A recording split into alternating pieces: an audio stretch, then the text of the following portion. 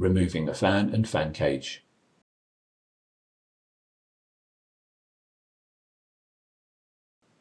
Remove the node from the chassis.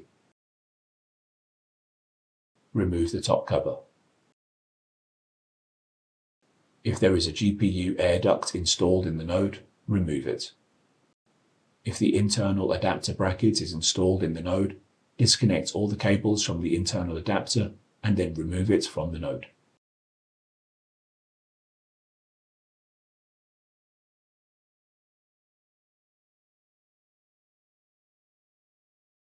Disconnect all the fan cables from the system board.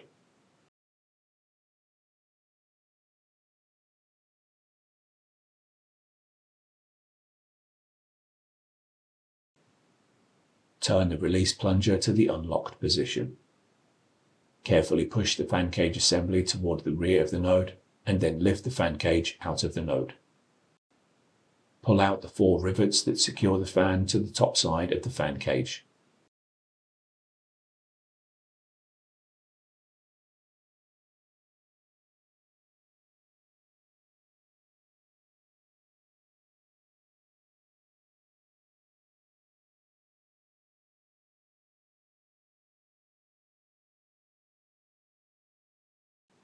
Push the fan from the bottom of the fan cage to disengage it.